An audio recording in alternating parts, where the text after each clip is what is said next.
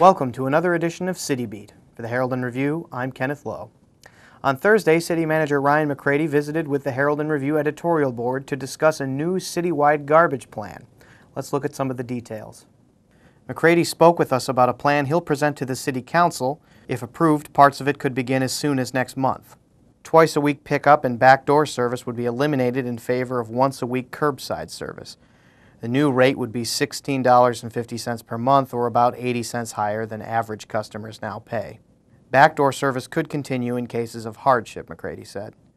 All residents would receive 96 gallon totes for garbage included with their service.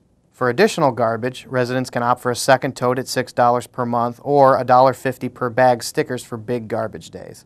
Haulers will pick up 25 bags of yard waste a week for free during April and November with the same stickers required for yard waste bags during the rest of the year. The city would begin billing garbage collection on residents' utility bills and would make a move toward monthly billing instead of once every three months. The plan also includes a new single stream recycling program.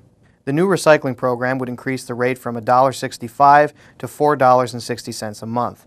Residents would receive a 65 gallon tote included in the price. Single stream recycling would mean no sorting required.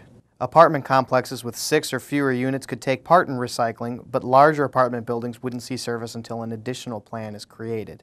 If the Council votes in favor of the programs by the end of the month, new recycling would begin in October and the new garbage hauling regulations could take effect in January. Of course, all of those changes are subject to Council approval.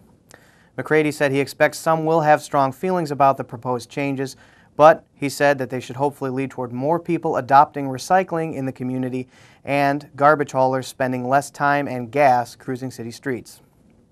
So, that's what's happening in the city this week. For the Herald and Review, I'm Kenneth Lowe. Take care.